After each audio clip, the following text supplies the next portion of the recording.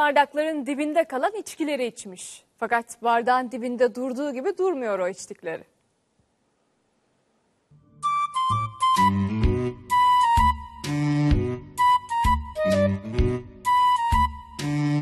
Adımını atmaya korkuyor çünkü yüksekliği hesaplayamıyor.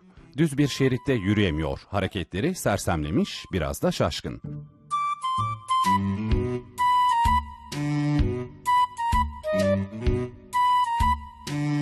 Çünkü bu rakun burnunun ucunu göremeyecek kadar sarhoş.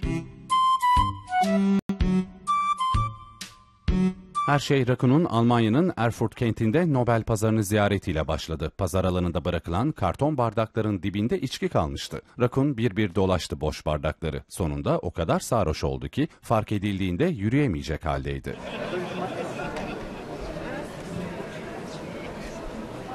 Yolun karşısına zor da olsa geçip kendini bir merdivene attı. Çevredekiler hayvanın zehirlendiğini sanıp itfaiye çağırdı. Uyuklayan rakun bir kafese koyuldu. Hayvan barınağına götürüldüğü iddia edildi ama gerçek hiç de öyle değildi. İtfaiye ekiplerinin rakunu bir avcıya teslim ettiği, avcının da rakunu vurarak öldürdüğü açıklandı. Gerekçe olarak da rakunun kuduz riski taşıdığı iddia edildi.